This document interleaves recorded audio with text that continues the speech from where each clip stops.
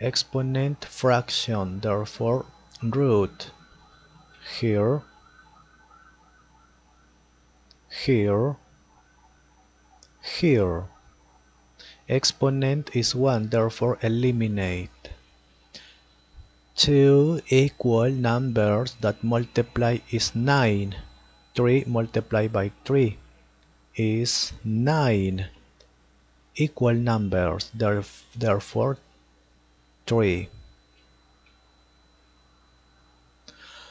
two equal numbers that multiply is 36 1 2 is 36 okay with 6 here. Can be simplified because can be divided by the same number.